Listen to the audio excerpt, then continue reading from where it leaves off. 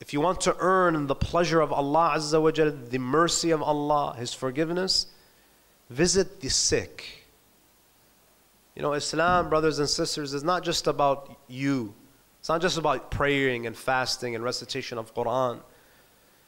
People who are truly religious, they have this ishfaq, al-ishfaq ala al-khaliqa.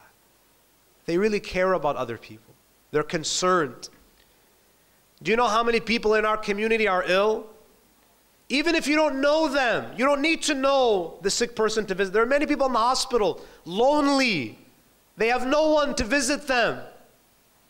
Imam Ja'far al-Sadiq alayhi salam, he says, Man aada maridan. Listen to the words of the Imam. Whoever visits a sick person, the Imam doesn't even say that he's a believer. He doesn't even mention that he has to be Muslim. Even if it's someone who's kafir, He's a non-Muslim. Man aada maridan if you go visit a sick person and you just spend a few minutes with them. You check on them. You express concern. You make dua for them. Man aada maridan.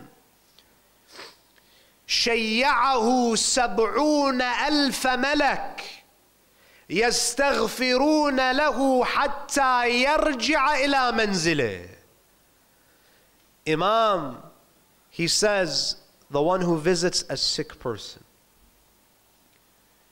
70,000 angels escort him to his home, seek forgiveness for him until he reaches his home.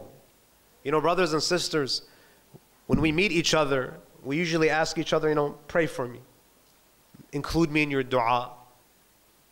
You're happy if one person, two people, and sometimes, you know, you ask people, you don't know if they actually do it, right? You know, we just, sometimes we just talk. Oh, I'll keep you in my dua, but you, you never actually do it. But if you were to find out that, say, two, three people actually made dua for you, wouldn't you be happy? Here, Imam is saying 70,000 malaika. They're doing istighfar for you. Look at the station. Look at the level of the one who goes and visits the sick, who cares about people.